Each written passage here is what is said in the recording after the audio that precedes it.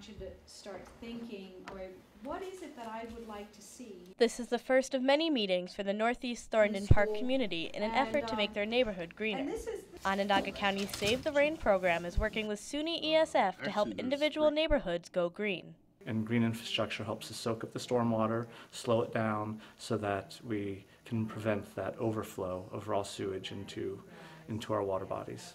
This first meeting serves to just see who is interested and brainstorm problems in the community and green ways to fix them. I'm interested in, in, for one thing, improving the green infrastructure in any ways I can in Syracuse, ju- in anywhere, because it's just the right thing to do. Now, there was a lot of talk at the meeting about how people can better help the environment by doing simple things. Something as easy as building a garden where there's an empty space right now could really help with the environment. Uh, little things folks can do is uh, really looking at conserving water. Um, and s simple things like if it's raining really hard, don't run the dishwasher. The neighborhood is looking to help in any way possible just to make Syracuse a little bit more green. Alison and we don't- Kurtzman, you know, in this NCC News. Defining it in this triangle, um, in terms of